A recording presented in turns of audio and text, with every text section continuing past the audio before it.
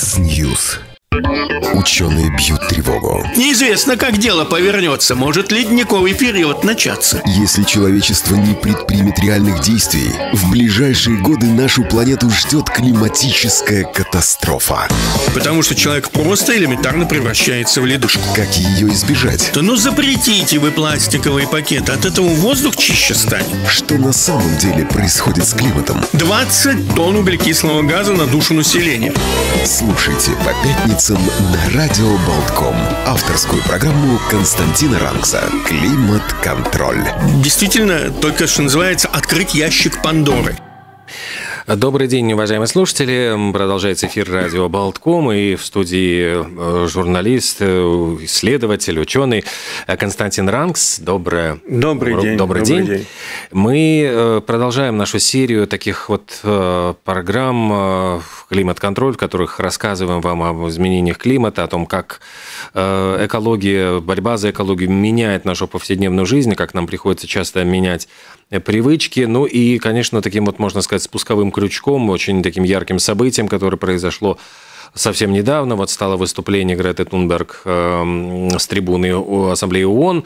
И деятельность вот этой э, девочки, собственно, школьницы, она стала невероятно ну, популярной во всем мире, и эта деятельность, она сподвигла, может быть, многих людей на э, то, чтобы задаться вот вопросами, насколько действительно это серьезная проблема. Ну, и известно, что многие даже и э, политики включая американского нынешнего президента Дональда Трампа, все-таки отмахиваются от этой проблемы и считают ее надуманной. Вот э, тема нашей сегодняшней беседы, наверное, вот Грета Тунберг против Дональда Трампа. На чьей стороне правда? Ну, самая такая яркая, яркий момент – это, конечно, второе выступление Греты Тунберг. Это буквально на мину уходящей неделе в Давосе угу. на Международном экономическом форуме. Там было вот этих два выступления. Они не, это не был батл в классическом понимании. Они были разнесены, естественно, во времени и даже вместе в разных местах Давоса.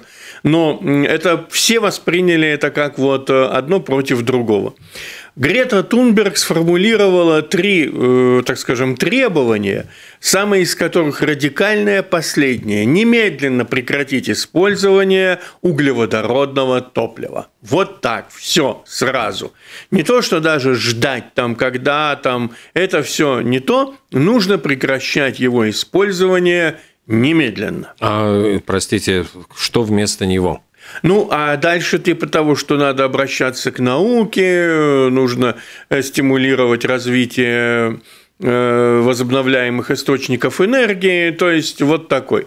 Стоит обратить внимание, что все это очень так совпало с продвижением нынешней главой Еврокомиссии Урсулы фон дер Ляйн, э, ее так называемой зеленой сделки, Green Deal, да, вот, зеленого проекта, развития, согласно которому э, до 2030 года в зеленую энергетику должно быть инвестировано, вот слушайтесь, 1 триллион евро. Триллион евро – это тысяча миллиардов. И вот если так раскинуть на, все, на всех жителей Европейского Союза, так получается, что с каждого человека это будет по 200, если я не ошибаюсь, где-то так по 200 евро в год с каждого человека. Ну, семья, естественно, средняя такая европейская семья, где-то 800 евро в год будет отдавать как бы... Ну, это не то, что будут брать в виде налогов. Нет, это вот сразу нужно сказать. Это как бы сумма денег, которые в том числе пойдут и на инвестиции. То есть, ну, где-то частный бизнес да-да, да, что-то еще кто-то, э, будут какие-то вложения. Но это общая сумма, которая должна войти вот в эту систему новой зеленой экономики. То есть, э, с одной стороны, кто-то очень радуется – Потому что это большие деньги, которые можно будет получить. А кто-то как раз напрягается, потому что, как всегда, может получиться такая ситуация, что деньги получат немногие, а вот платить уже придется всем. И вот э, вчера была очень интересная передача «Точки над и», на которую меня пригласили. Э, там были представители правительства, депутаты Сейма нашего, э, предприниматели. И вот э, ведущий коллега Алексей Дунда, он задал тоже вопрос, вы за э, Грету Тунберг или за Трампа? Так вот, наши представители власти, всех ветвей власти, они как-то дружно были за Грету Тунберг, и я подозреваю, почему. Они даже в известной мере объяснили, потому что они рассчитывают на то, что вот этот условный триллион – это в том числе это деньги, которые Латвия сможет получить от Европейского Союза для развития каких-то экологических зеленых проектов. Потому что, в принципе, Латвия – это страна с небольшими относительно, мы об этом говорили, по-моему, месяца два назад, относительно небольшие выбросы и в абсолютном значении, и на душу населения. У нас меньше выбросы, чем у Литвы, соседних и Эстонии, тем более, с ее сланцевыми энергетикой. Поэтому, в принципе, у нас большие леса, почти полстраны в лесах. Вот. Это вопрос другой, угу. какие это леса. Но то, что это леса, которые усваивают углекислый газ, это факт. Вот. И, в принципе, э, так скажем, можно на что-то надеяться, особенно если что-то интересное подразработать и внедрить. А вот уже позиции, э, так скажем, людей э, практической экономики да, были не столь благостные, которые всегда смотрят и знают о том, что в Брюсселе сначала могут или в Страсбурге говорить что-то одно, а потом, как только это вытекает в классические Э, так называемые регулы, да, вот, это э, документы Евросоюза, регулирующие те или иные практические действия, да, все становится как-то э, совсем уж грустно. Я вот могу вспомнить ровно 10 лет назад, ну, 10 лет и эти 4 месяца или 5 месяцев назад финны страшно радовались тому, что у них прекрасно получается производить из торфа бензин. Ну, вот там новейшая технология, туда-сюда, но вообще, как посчитали, выяснилось, что у них бензина будет больше, чем у Норвегии, которая перерабатывает угу. нефть. А у них торфа полно. Ну, господи, весь пол Финляндии сплошные болота, да? И причем очень интересно, тут можно добыть, там торф заново отрастет. В общем, все хорошо. Только Европейская комиссия там, в Брюсселе, взяла и внесла э, торф из раздела возобновляемых источников в раздел невозобновляемых, ну, типа как уголь или да, нефть. И вся торфяная промышленность, вся торфяная мечта Финляндии, э, так скажем, стать э, бензинопроиз... экологического бензина производителем мирового масштаба, да, она рухнула, что называется, с одной росчерком пера брюссельского чиновника. Кстати, наши латвийские производители торфа эту историю очень хорошо э, помнят, потому что она и по нашим ударила тоже. Но Поэтому... почему вот э, а не удалось переубедить? Э, почему не, ну вот получается, что какой-то чиновник может э, э, таким образом нанести удар целой стране? Ну, это даже не один чиновник, это угу. целая система. Во-первых, в Брюсселе грандиозный лоббизм вот, или в Страсбурге, там, где Европарламент. То есть происходят, это вполне легальные э, методы продвижения своих идей. Э, в общем-то, процесс огромный, там заняты тысячи, десятки тысяч человек. И, в принципе, когда принимается такое решение, это только уже вершина вот такого грандиозного бюрократического айсберга. Вот, или такая... И вот, э, в принципе, ведь много самых интересных вещей есть. Я вот разговаривал с журналистами, которые там работают. Вот, например, история с огурцами. Все над ней смеялись, зачем огурцы нужны, чтобы они были прямые и определенной длины. А оказывается, это был лоббизм транспортников – которым нужно, чтобы был максимальный коэффициент загрузки. Потому что если вы накидаете кривые огурцы, угу. то у вас объем будет большой, а масса маленькая. А если все... Вот было бы хорошо, чтобы они были квадратные еще. Арбузы да, особенно вот квадратные. Вот это гораздо лучше с точки зрения транспортника. Соотношение объема и массы более оптимальное. То есть э, у всех есть свои интересы. У фармацевтической промышленности свои, у определенных у других кругов там... Что-то мне это напоминает двор короля Людовика Солнца, где вот э, через фавориток пытаются, значит, там все э, какие-то свои получить, защитить интересы. То есть ну, история как-то повторяется. Ну, помните, как Воланд говорил, что люди те же, да. господи, они мало изменились. Слушайте, с точки зрения эволюции, все это секунд секунды прошли, что может принципиально измениться. Вот. И люди точно так же, вот очень хорошая же фраза есть, беда не в том, что люди хотят другую, другим зла, Люди хотят добра, но только для себя лично. Вот это, это, это, что называется, зашито в человеческой природе. С этим надо бороться, конечно, но на практике получается вот такая ерунда. И что еще очень э, огорчительно? Огорчительно то, что э, у нас как бы с э, Европой, которая говорит о том, что она хочет стать технологическим лидером планеты, у власти в основном люди в очень значительной степени гуманитарного характера. Я не против гуманитариев – вот это очень важно. Не, не хочу, как говорится, их обидеть. Дело все в том, что я, например, э, с восхищением отношусь к людям, например, которые знают несколько языков в совершенстве. Или, например, разбираются э, в литературе, в поэзии, потому что это все нужно действительно сохранять, это наша культура. Но весь вопрос заключается в том, что когда люди, э, которые разбираются, может быть, э, превосходнейшим образом, условно говоря, в старинной литературе, литературе, да, они не разбираются в такой вещи, как, например, коэффициент установленной мощности у электростанции.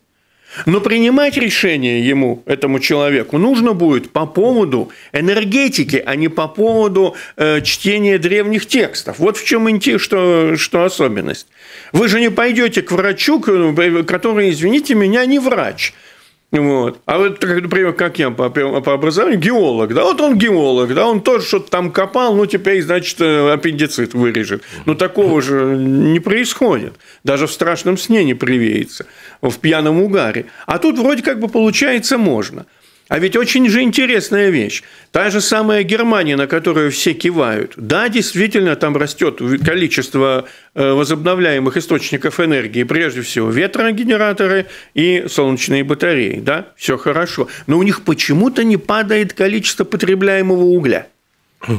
А проблема очень простая – существует четкое соотношение, какая должна быть мощность генерации, чтобы вот этот электрический ток в наших сетях был стабилен и по напряжению, и по силе тока. И что еще очень важно, об этом забывают, по частоте. Вот у нас должно быть 50 Гц, вот она должна быть, эти 50 Гц.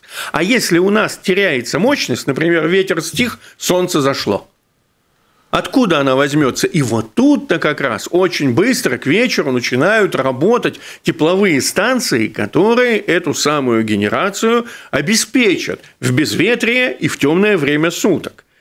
И вот что интересно, когда говорят о том, что, может быть, в Латвии отказаться от закупок газа, и полностью перейти на возобновляемые источники, то ведь хотелось напомнить о том, что наши электростанции, это электростанции пикового так называемого типа, они рассчитаны на то, чтобы покрывать э, расход электроэнергии именно в пиковое потребление. Вечером, когда люди с работы приходят, утром или, допустим, в еще какое-то время. Но не постоянно, они постоянно не в состоянии. Воды в Даугаве не хватит для их постоянной работы.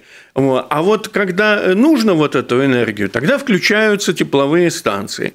Была очень ведь хорошая система, ведь не случайно строили в свое время Игналинскую атомную станцию, которая, как и эстонские станции, вот эти на сланцах, постоянно генерировали вот этот основной поток энергии и они его давали стабильный. А вот когда был перебор, тогда включались наши ГЭС давали, вот компенсировали вот этот расход. И таким образом удавалось более-менее держать, э, э, как говорится, параметры электрического тока в сети. Это очень важная вещь для промышленности. Ведь мы просто сидя здесь забываем, что существуют заводы, которые постоянно э, катают сталь, которые работают те же самые роботы, которые собирают автомобили, электронику, лекарства, фасуют, да, да куча всего. И вот вся эта техника требует электричества. И чтобы это электричество было в нужном вольтаже, силе тока и частоте. И вот хоть убейся, но это должно быть так, потому что если это не будет, автоматы отключат всю эту технику. И вот тогда начинается вопрос о том, что, как говорится, а кому предъявлять претензии? К политикам и кому еще? Грете Тунберг. Да, вот теперь тогда там... получится, что Грета ответит за все. Насколько э, вот позиция Трампа отличается, насколько она э, реалистична ли она, или это тоже ну, популизм, только другими словами? Другой ну, Трамп, э, Трамп это же вообще это трибун, трибун свободной рыночной экономики, предпринимательства. Он же песню поет в Асанну во славу свободного предпринимательства, свободной частной инициативы, которая поможет решить все, потому что она является фундаментом прогресса, а прогресс решает все. Вот, как он отмечал, в 60-е годы боялись одного, в 70-е другого, боялись, что нефти не будет, что перенаселение, там все, а все решается – вот, поэтому не нужно, так говорится, касса, как он так легко сравнил э, Грету Тунберг и ее последователей с Кассандрами такими, да, которые вечно все эм, страдают и вечно предсказывают Хотя беды. она была как раз-таки права, Кассандра. Ну, вот это он не да, очень да. удачно. Вот. Но я хочу сказать, что вот его... Э, с другой стороны, он очень ловко вышел из ситуации. Он заявил, что мы поддерживаем идею сажать один триллион деревьев – вот сейчас модно триллионами раскидываться, там деньги, тут деревья, да. Вот. И э, вроде бы как бы он и не против, он же говорит, посмотрите, какая экология в Америке, самая лучшая, которая сейчас только есть, да. То есть он как бы не за грязный воздух. Он наоборот, просто он считает, что все решает прогресс и активная частная инициатива. Поэтому в известной мере речь э, Трампа ее стоит прочитать, она есть в переводе на русский язык, да, э, ее стоит прочитать. Я думаю, что для очень многих людей она будет гораздо более убедительной, чем э, речь Греты Тунберг. Потому что речь Греты Тунберг, она просто, просто вот именно задает больше вопросов. Как все это делать, простите? Вот, отказаться от всего. Вот. А вот Дональд Трамп, он говорит о том, что мы должны совершенствоваться, открывать свободу инициативе, вот, и люди придумают, как решить вопрос. Э, он очень интересный же, смотрите, он показал такую для европейцев интересную вещь, он же сделал акцент на соборы – знаменитые европейские, в частности, Санта-Мария де Фьоре, Санта-Мария в цветах, по-моему, во Флоренции, знаменитейший собор с потрясающим куполом диаметром, по-моему, 43 или 44 метра, который еще, бог знает, в XIV веке, по-моему, возводили. Так вот, что интересно, строить начали собор, еще до конца не понимая, как они смогут сделать купол. То есть его идея какая? Надо начинать работать сегодня – в расчете на то, что мы придумаем, как завершить работу по ходу дела – это, как Владимир Ильич Ленин говорил, вяжемся в бой, а там посмотрим. Ну, это да? он повторял Наполеона. То есть, в принципе, есть масса людей, которые действительно так э, рассчитывают. И вот это такое, знаете, такое э, воодушевляющая идея, конечно. Посмотрите на величественные соборы прошлого. Да, Кёльнский собор строили несколько сот лет, но вы посмотрите на этот собор – да, но с другой стороны, вот э, то, что предлагает Грета Тунберг, насколько она сама понимает вот э, невозможность прямо вот здесь и сейчас отказаться от, э, ну, сразу вот как-то кардинально изменить наш образ жизни. То есть ведь это означает вернуться просто в пещерный век, потому что мы не представляем себе, ну вот полчаса отключите электроэнергию, когда не будет света, особенно в темное время суток, э, не будет работать из-за отсутствия электричества, канализация, напор воды. Э, ну, все, отопление, там все выключится. Все. Вот в том-то и дело. Мне кажется, что сама по себе Грета, да, она девочка, конечно, искренняя, хорошая, но проблема в том, что она, э, это проблема, она из бога, весьма обеспеченной семьи и из очень богатой страны. И все ее перемещения, я не слышал, чтобы она, например, оказалась где-нибудь в Сомали, вот, или в Афганистане, или в Бангладеш в лагере беженцев Рахинджа, вот, или еще где-то, потому что ребенка туда никто не пустит. Вот. Она несовершеннолетняя, да, то есть как бы... И вот посмотрите, дальше возникает вопрос, как может человек судить о проблемах вот этих, если, э, если просто-напросто он их никогда реально в жизни не видел. Вот когда человек переживает страх и видит ужас, когда вокруг него стоят я вот разговаривал с одним человеком, финном, который был в Африке в миссии в одной, ну, по-моему, по, по медицинской части. Он говорит, эти люди просто стоят. Они стоят, изможденные люди, он говорит, как на фотографиях э, из нацистских лагерей, вот как раз сейчас годовщина освобождения Освенцима, да, вот, и все же, те же солдаты, которые пришли освобождать, они же были в шоке. Это стоят молча вот эти обтянутые кожей скелеты. И вот там тоже стоят обтянутые кожей скелеты. И вот он говорит, ты, он говорит, понимаешь, что это это кошмар, это, это вот лицо смерти в самом таком концентрированном виде. Вот. И э, неизвестно, как бы ее психика э, отреагировала. Но то, что объяснить, что вот для того, чтобы вот это все как-то компенсировать, нужно откуда-то взять деньги, нужна промышленность, нужны средства доставки – и доставки средства – это самолеты вот эти несчастные. Да? Вот. То есть у каждого дела есть свой углеродный след. Вот она проблема какая. Но для этого человек должен уже получить жизненный опыт. Вот. Поэтому и получается, что э, вот такой яркий, как словами ребенка глаголит истина, да, вот истину с одной стороны о том, что все плохо, и что действительно ситуация опасная – это ну, констатация факта. А вот то, что делать, она еще либо сама, ну, она сама, может быть, не понимает, и это естественно в ее возрасте и с ее жизненным опытом. А те, кто помогают ей составлять такой текст, они, кстати, вполне возможно тоже не шибко э, отягощены вот этим жизненным опытом или желанием отягощаться этим опытом. Или преследуют какие-то свои Либо преследуют цели. свои. Это еще хуже было бы. Вот. Поэтому мне кажется, что э, ведь самое интересное, очень многие люди, взрослые люди, понимают, что все это, вот опять сошлюсь на вчерашнюю программу, э, у меня с правой стороны сидела дама, э, которая владеет кафе, которая поставила на своих знаменах, вывесила отсутствие мусора. Вот, ну, там у них нету одноразовых стаканчиков, вот это вот. Угу. вот. Ну, это, это их идея, они взяли свой путь, да, это очень хорошо. Но она сказала очень интересную вещь. Она сказала, что мы должны понимать, что э, если будет развиваться изменение климата, то это в конечном счете приведет к войне. Вот это, то есть борьба с изменением климата – это попытка остановить грандиозную войну.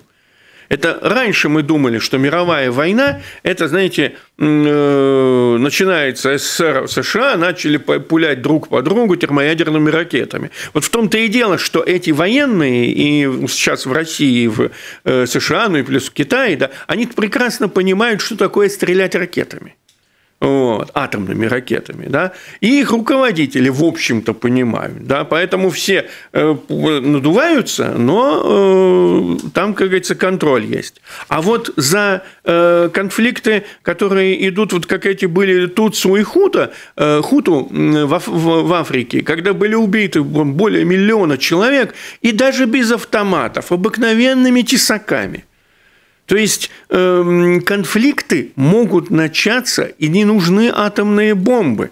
Мировая война может начаться как масса конфликтов. И вот этого, кстати, я хочу обратить внимание, боятся э, специалисты, которые обращают внимание на корни сирийского конфликта, который развился после шестилетней засухи чудовищной засухи, когда огромная масса населения переселилась из восточной части страны, сунниты, в западную часть страны, где живут алавиты, шииты, ну, где возникли конфликты между окраинами и богатым центром.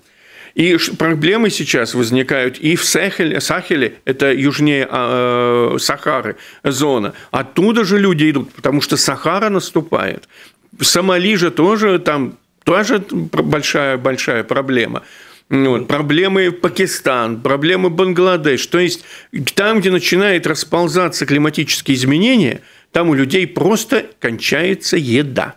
А когда кончается еда, люди не думают о будущем. Люди думают, где добрать, взять, оторвать этот кусок пищи прямо сейчас. И э, сейчас уже говорят, что климатическая миграция, которая приведет к массированным столкновениям, она как раз и является э, одной из первых Э, а, этих эм, угроз наряду с возвращением, так скажем, в среду древних микроорганизмов, расползанию всевозможных вредителей, как, например, вот в Латвии новый клещ появился, который очень быстро бегает. Ну, то есть, э, и это, вот это, да, это то, с чем мы уже реально сталкиваемся, и это может при, начать развиваться быстро в самое ближайшее время. Ну, и вот если вспомнить, кстати, э, сериал «Эпидемия», там, э, наверное, вот этот ужас богатых обитателей, ну, условно говоря, Рублевки показан, когда э, напуганное э, население Москвы начинает ломиться в их дома, вот, ну, заодно и раз, разграбляя, убивая там тех, кто находится, э, живет в этих домах, насилуя их жен, там, дочерей, и вот забирая все, что можно унести в поисках там продуктов, каких-то ценных вещей, когда просто перестают действовать любые правила, и каждый сам за себя. Вот, ну, такие вот массовые страшные катаклизмы. Нам пишут, ну вот э, по большому счету это уже тема для, может быть, какой-то одной из следующих передач, но вот задают такой вопрос. Предлагаю вам обсудить проблему больше грузных э, авто на улицах Риги. Уже несколько лет это является серьезной проблемой города. Перегруженные улицы, загазованность, преждевременный износ дорожного покрытия. Но вот не замечает э, ни Министерство значит, транспорта, ни город эту проблему. И э, пишет, сейчас, вот пока ехал от Островного моста в сторону Спицы, насчитал 32 фуры. Вот как... Ой, ну это надо сказать, что это не только в Риге такая проблема, да, и сколько я знаю, в Европе сейчас об этом очень много говорят, да и в США тоже. Почему Элон, Элон Маск э, так э, его заявление о, появлении, о создании электрофуры да, вот, на батареях тоже вызвало большой интерес, потому что эта фура, может быть, не будет успешна при э, езде на большие расстояния, да, ей придется так изрядно перезаряжаться. А вот, допустим, использовать электрофуру э, для того, чтобы развозить э, товары в черте города, да, вообще электротранспорт грузовой, что, возможно, в этом есть известный смысл – Потому что, как мы знаем, вот эти самые э, фуры, да, прицепы, они от своего тягача э, отстыковываются. И, например, вот если кто ходил на паромах, он мог обратить внимание, особенно вот в Тавталине это заметно, там стоят фуры на таких ножках, да, э, в передней части. Подъезжает тягач, подхватывает эту фуру, то есть сам тягач, вот эта машина большая, ну, мощная, она не грузится на паром, угу. она довезла свою вот эту э, ношу, э, свою фуру до Таллинского порта, оставила ее там, взяла другую груз и помчалась опять в Европу. Вот. Незачем ей плыть угу. в Хельсинки. Вот, потому что до Хельсинки довезет ее спокойно паром, а там уже подключатся другие. То есть идея передачи груза из рук в руки с машины на машину, она вполне реализована. И поэтому, например, можно себе представить ситуацию, чтобы вот эти фуры подходили где-нибудь там в районе Югла, Берги, куда-нибудь еще там э, дальше. Вот, там их подхватывали бы электрофуры, и дальше бы уже увезли к потребителям, если груз есть, или там груз грузовики потребителям уже внутри города, чтобы они не отравляли атмосферу своим чудовищным э, выхлопом. Это да, это, кстати, такая тема возможна. Ну что ж, на самом деле у нас и как-то время уже завершается сегодняшней нашей встречи. Спасибо большое. Константин Рангс сегодня был в нашей студии, программа «Климат-контроль». И до встречи через неделю. Всего доброго, до свидания.